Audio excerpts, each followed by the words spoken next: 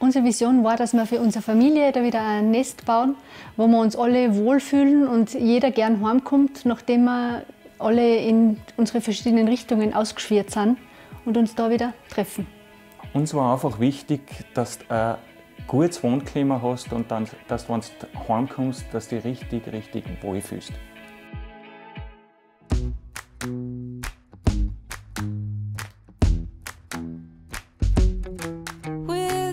fühlst. sun is shining 24 7.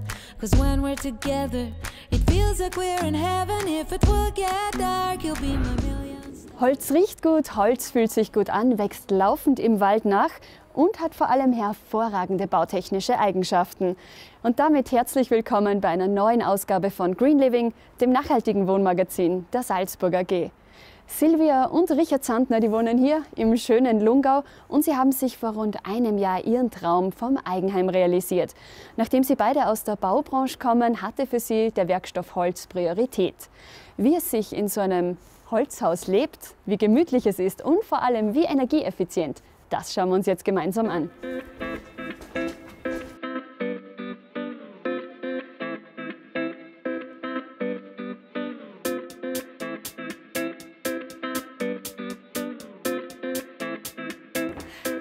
Grüß euch. Vielen, vielen Dank, dass wir heute da sein dürfen. Hallo. Schönen Lungau. Wunderschön habt ihr es. Unglaublich. Äh, wie lange wohnst du denn jetzt schon in euch am Haus? Wir wohnen seit April 2020 im Haus. Mhm. Und äh, begonnen mit dem Rohbau haben wir dann äh, im September 2019, sprich nach sieben Monaten zum Einzug. Ihr kommt ja beide so ein bisschen aus der Bauecke auch und Holz war für euch ganz, ganz wichtig auch. Warum? Was ist das Tolle an diesem Werkstoff? Allgemein zu Holz muss man sagen, es ist ein nachhaltiger Baustoff. Wir haben da in dem Haus fast 200 äh, Kubikmeter Holz verbaut. Sprich, wenn man das umrechnet, heute in CO2-Äquivalent, was ja so modern ist, dann sind das fast 200 Tonnen CO2, die da gespeichert sind. Und äh, das ist ein Aspekt, der Umweltaspekt. Äh, das zweite ist natürlich, uns war ganz wichtig und äh, eigentlich die Wohnbehaglichkeit und das gesunde Wohnen. Das steht da im, im Vordergrund. Wir haben nicht so vielschichtige äh, äh, Aufbauten. Äh, wir haben biologische oder ökologische Dämmstoffe verwendet, also von der Bodenplatte bis zum Dach rauf. Wir verwenden das Massivholz auch selbst als Dämmstoff. Wir sehen einfach einen großen Vorteil. Massivholz hat eine super Speichermasse, sprich, das ist wichtig für die Temperaturstabilität eines Hauses. Auf wie viel Quadratmeter wohnt ihr jetzt da? Wir wohnen auf äh, 75 Quadratmeter pro Geschoss, also Erdgeschoss, Obergeschoss, 150 Quadratmeter Nettofläche und dann haben wir noch das Dachgeschoss, äh, das wir aber auch beheizt haben. Was war denn so eure Vision für das ganze Bauprojekt? Klare Vorgaben waren, klare Linien, äh, ein bisschen ein moderner Touch und von den Raumaufteilungen, dass wir zum Beispiel einen großen offenen Wohnbereich haben mit Küche. Wir haben uns schon probiert zurückzunehmen dass man ihm äh, möglichst viel Freiheit gibt in, in Florian Lüftenecker. Und das war im Gespräch dann mit ihm ganz klasse, weil er hat jetzt gar nicht, wir sind gar nicht auf die Architektur eingegangen, sondern er hat eher so gefragt, was so unsere Bedürfnisse sind und eher so die persönlichen Geschichten.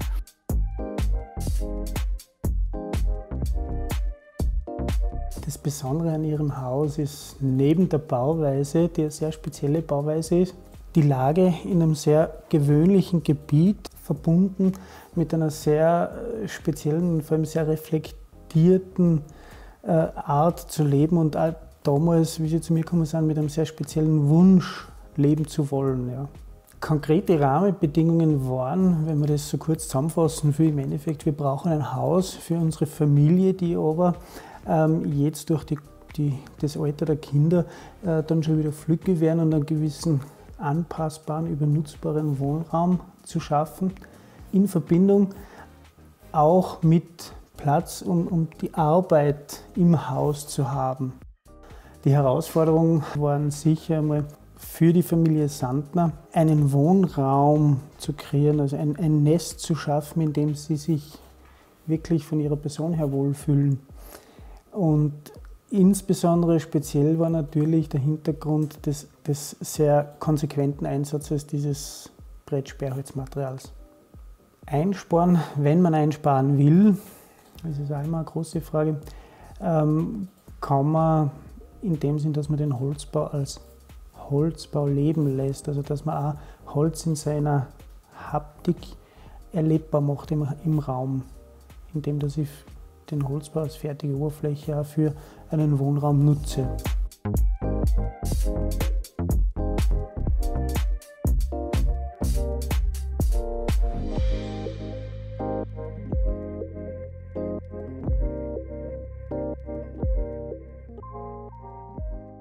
Beim Holzhaus, da denken ja viele Leute dran, es muss rustikal, es muss urig sein, aber bei euch sieht man, es kann total stylisch und modern sein. Was war denn dir oder, oder euch bei der Küchenplanung wichtig? Also wir wollten mit der Küche einen Akzent setzen, einfach einen Kontrast zu unseren Holzoberflächen, die wir sonst haben.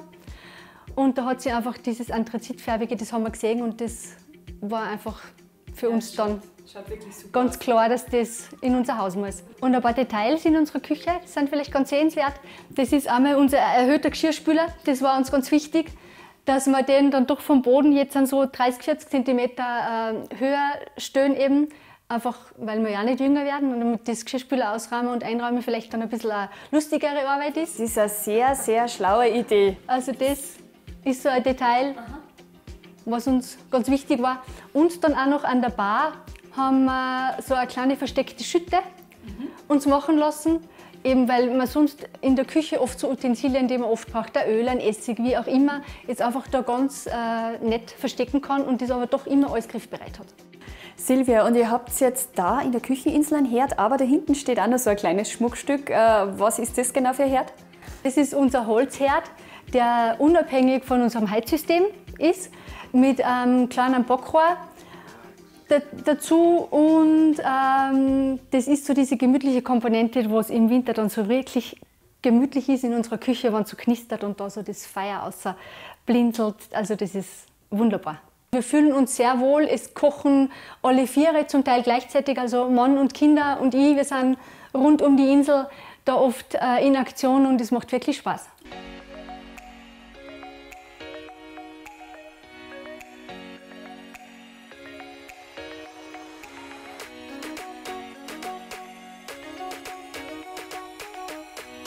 Also wir sind da jetzt in unserem Wohnzimmer. Und da haben wir unsere altgediente Couch mitgesiedelt. Ähm, und ein zweites älteres Stück noch, das ist unser Zirbentisch. Ah, der ist aber auch sehr schön. Das uns ganz wichtig war, dass wir diese zwei Teile jetzt auch in unser neues Zuhause mitnehmen und integrieren. Und ja, es war dann eigentlich von der Einrichtung so, dass wir in der Wohnung schon ziemlich ausgestattet waren und es dann Gott sei Dank auch aus Budgetgründen auch gar nicht möglich gewesen wäre, dass wir jetzt wirklich alles äh, neu ausstatten und uns komplett neu einrichten. Und da, es war eigentlich auch nicht notwendig, weil wir eben ein paar so Stücke gehabt haben, die wir gesagt haben, also die müssen jetzt einfach wieder mit, mitgesiedelt werden, auf die wollen wir nicht verzichten.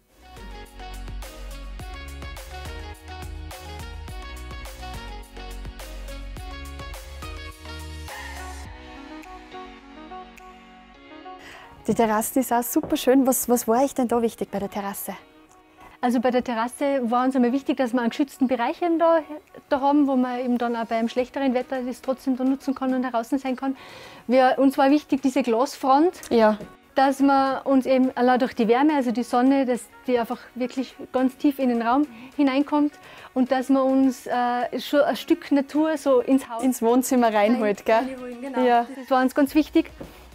Und natürlich die Terrasse äh, muss gemütlich sein. Mhm. Und da haben wir das äh, alte Babybett von unserem Sohnemann. Ein Babybett ist das? Ja, genau. Umfunktioniert in unser, in unser Terrassencouch. In eine nette Couch, sehr gemütlich. Ah, herrlich. Da lasst es aushalten. Ja, da bleiben wir jetzt ein bisschen. Mhm.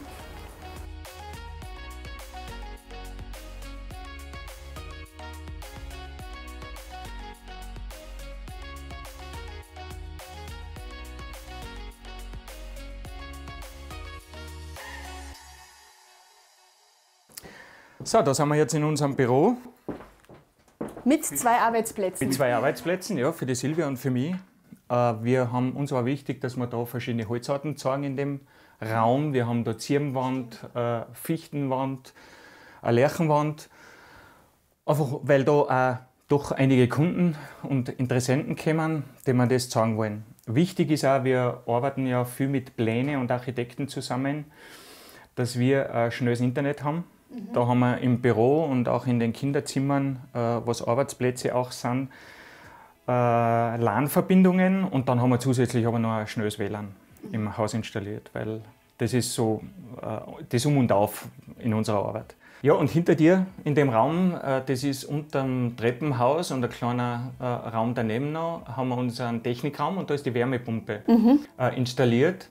Der Vorteil ist, wir haben da 1,20 Meter mal einen Meter Platzbedarf für das ganze Heizsystem, haben uns für Tiefenbohrungen entschieden, weil äh, aufgrund der laufenden geringeren Energiekosten, das war unser Hauptpunkt und dafür haben wir die ein bisschen höheren Investitionskosten gerne in Kauf genommen.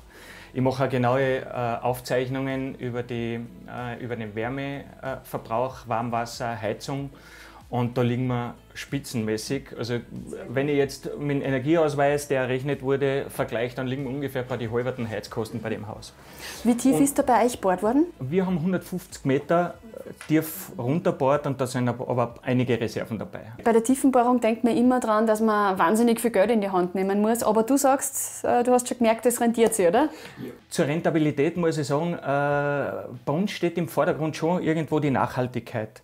Das heißt, wir wollten laufende Kosten sparen und haben gesagt, wir investieren lieber ein bisschen mehr und wissen, dann sind wir mit den laufenden Kosten entsprechend tief.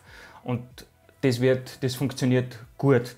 Um das Thema Nachhaltigkeit abzurunden, äh, muss man sagen, wir haben ja angefangen bei den Fundamente bis zum Haus. Das zieht sich eigentlich durch das ganze Haus durch. Ähm, über die Verwendung der verschiedenen Materialien war es uns natürlich wichtig, dass wir für die Heizung den Strom, den wir benötigen, einen sauberen Strom kriegen und da wieder auf Nachhaltigkeit setzen, wie man halt von der Salzburger AG zur Verfügung gestellt kriegt. Mhm. Und jetzt schauen wir weiter.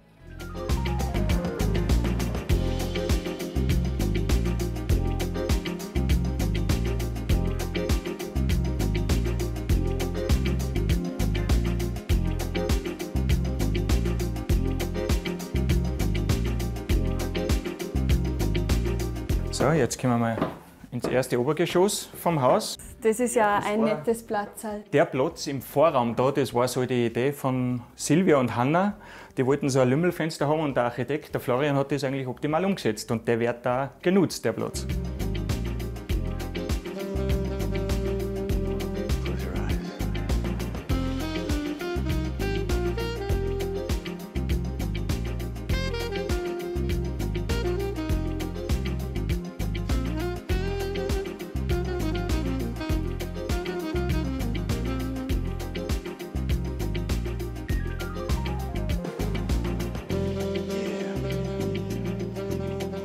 Das ist jetzt unser Bad.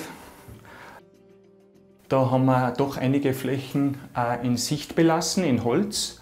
Im Spritzwasserbereich ums Waschbecken und natürlich im Duschenbereich haben wir verfließt.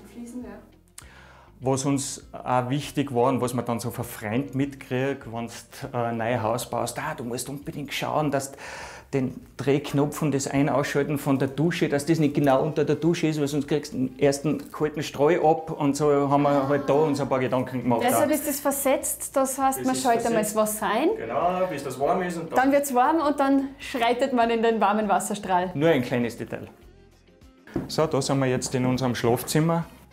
Da war uns wichtig, dass wir einen schönen Ausblick haben, weil in unserer Wohnung vorher war das Zimmer Richtung, Schlafzimmer Richtung Norden ausgerichtet mit ganz kleinen Fenstern und das war eigentlich den ganzen Tag finster. Das habt ihr jetzt gut gelöst. Und da wollten wir eigentlich die Sonne reinholen und einen guten, schönen Ausblick haben über den Tag. Und wir genießen auch den Balkon, weil er schön geschützt ist, er ist überdacht. Mhm. Und genießen das auch am Nachmittag oder am Abend in der Sonne am Balkon.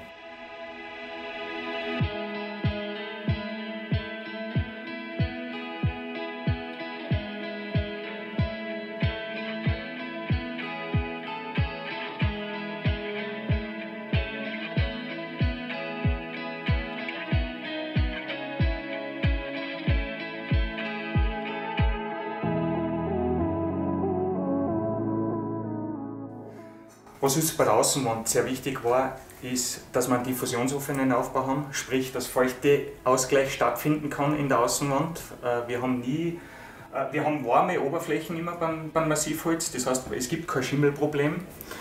Und äh, wir haben eine Speichermasse. Und diese Kombination ist ein Garant für Wohnbehaglichkeit, für gesundes Wohnen. Und das war uns sehr wichtig. Mhm. Beim Hausbau sagt man immer, man wird eigentlich eh nie fertig. Es gibt immer irgendwas zum Tun. Äh, was habt denn ihr jetzt für die nächsten Jahre noch geplant oder ist noch irgendwas Spezielles geplant? Ja, ähm, im Großen und Ganzen sind wir fertig. Innentüren fehlen uns noch.